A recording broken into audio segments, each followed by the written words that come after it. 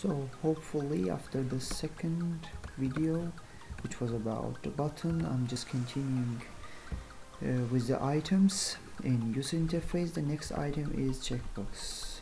Let's add a checkbox but by the way by adding the checkbox I would like to illustrate another good and useful tool for us just layout function or let's say layout. Layout is a kind of kind of just arrangement of the items because in many cases if we got if we got something you know change it uh, many items and we want just you know checkbox and button in a vertical way because we can just arrange them in a one line. You, you see if we want this this functionality we just won't have to add the just this horizontal arrangement like this. And it look like this. If we change it to, uh, from the automatic to the parent. It will look like this. It will just arrange it half and half. If we add another button let's say here it will arrange it in a specific way like this. Yeah that that's a, one of the useful tools about it and let's continue with checkbox. Checkbox let's name the checkbox. Click me. Yeah. Okay. I just made a terrible mistake. But fortunately we can just yep. Uh, let's say click me and let's go to uh, there is no specific properties to change let's go to function block.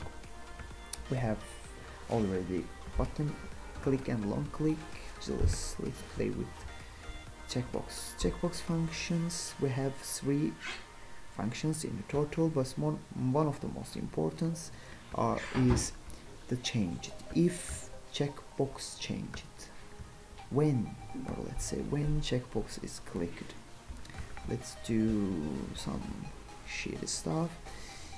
Let's play with the screen. Let's say the screen the main screen which is the, this one. And let's change the color of the screen. Yeah. And background color let's say. And I want just just copy this color and change it to the aquatic or just this one I like. Also one of the most interesting colors for me. And for the temporarily temper functions it's okay. And again I have just Fox, LostFocus. it's there are important ones but not just as important as changed there is some specific reasons and projects that I utilized GotFocus, Lost Fox. It's kind of, you know, if we touched, when we touch and when we just uh, remove our hand or finger from the checkbox, it's basically all about that. Yeah, and let's just save our project and I will put in the second half of the video this video I will put the screen record as previous one just illustrate how works our checkbox. So let's okay uh, let's go to our application which we just download and install demo. Okay that that's it. We have just the hello button and we previously talked about it and we now have checkbox. If I click the checkbox it will change the total the full uh, screen color.